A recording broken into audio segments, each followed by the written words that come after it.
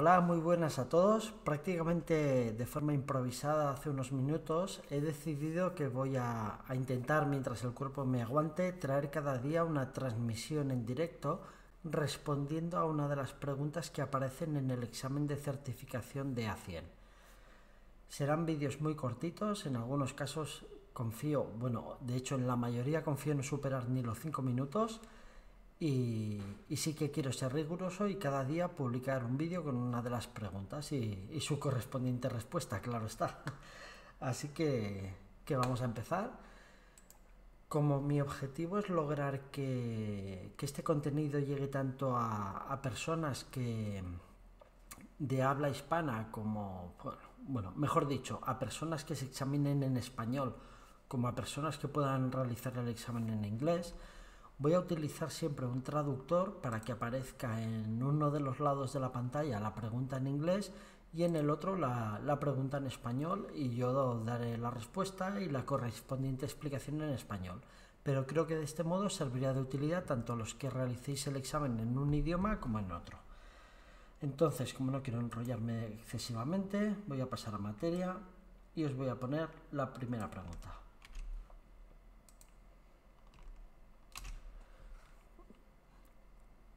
Bueno, confío que se vea bien. Voy a hacer un poquito de zoom. Es el primer streaming que hago respecto a este tema, así que el ritmo no puede ser un poquito lento, pero trataré de los próximos días ir cogiendo la dinámica adecuada.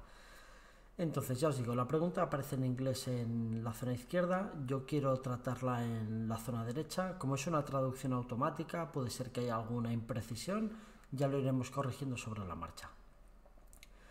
Entonces, la pregunta nos dice lo siguiente. Eh, por cierto, es la primera vez que la leo. ¿eh? Usted utiliza un Visual DR para producir un mapa de 500.000 clientes. Incluye los valores de Customer, Latitude y Longitude, vale, en los campos enviados al visual. Por lo tanto, estamos identificando un cliente a partir de su latitud y su longitud y nos dice que cada identificador de cliente es único. Por lo tanto, tendremos 500.000 filas diferentes, aunque se puedan, se puedan repetir algunas latitudes y longitudes y diferentes clientes tienen la misma dirección. Eh, bueno, lo siguiente es en Power BI, cuando los usuarios cargan el objeto visual, solo ven algunos de los clientes. Es decir, puede ser no nos especifica qué tipo de visual es, pero es un visual cuyo origen es R. Y nos están diciendo que los, usuarios en Power BI no están viendo el total de los 500.000 clientes, sino solo algunos de ellos. Y no nos especifican cuántos. Entonces nos dicen que cuál es la... Bueno, nos preguntan cuál es la causa del problema. Y nos dan las siguientes respuestas. El visual se construyó utilizando una versión diferente de R. Los datos provienen de una fuente de Microsoft SQL Server. Los datos están, eh, supongo, vale, que los datos están duplicados. Vale, esto no tiene mucho sentido porque cada cliente es único.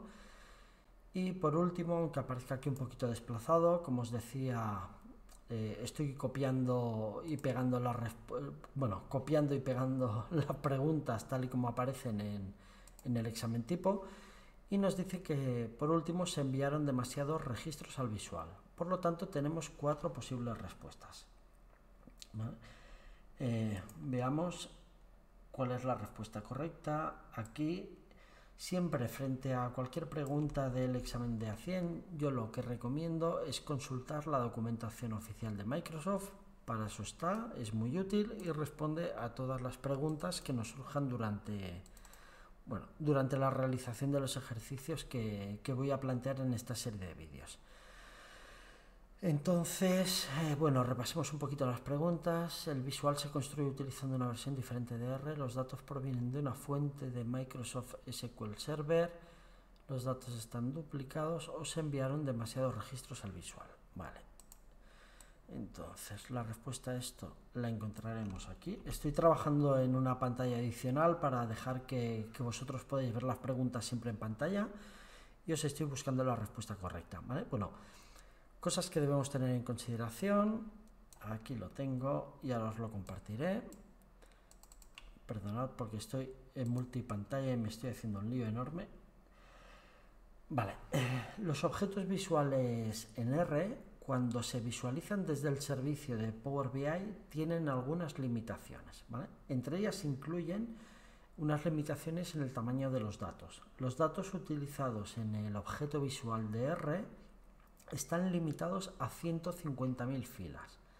Por lo tanto, si se seleccionan más de 150.000 filas, solo se mostrarán las primeras 150.000 eh, en la visualización. Además, eh, existe una limitación de tamaño de 250 megabytes. Por lo tanto, eh, la respuesta correcta es que se enviaron demasiados registros al visual.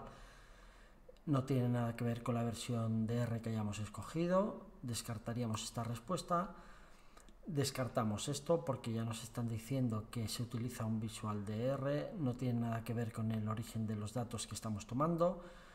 No es porque los datos estén duplicados, aquí ya nos decían que cada cliente es único, por lo tanto nuestro origen de datos contiene 500.000 registros y lo que está pasando es que se enviaron demasiados registros al objeto visual. Si R tiene una limitación de 150.000, es normal que no sea capaz de mostrarnos 500.000 vamos a ver la, documentación oficial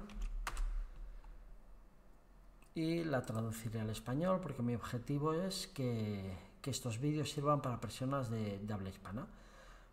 bueno, os dejo aquí la dirección para que la, podáis copiar y aquí vemos bueno, la página de la documentación oficial que nos habla de cómo crear y utilizar elementos visuales de R en Power BI. Entonces, si vamos por aquí a la sección de las limitaciones, mm, mm, mm, limitaciones, aquí lo tenemos. Limitaciones de tamaño de los datos. Los datos utilizados por el visual de R para el trazado están limitados a 150.000 filas. Es por esta razón que no podíamos visualizar los 500.000 clientes, porque estamos excediendo el límite de 150.000 filas.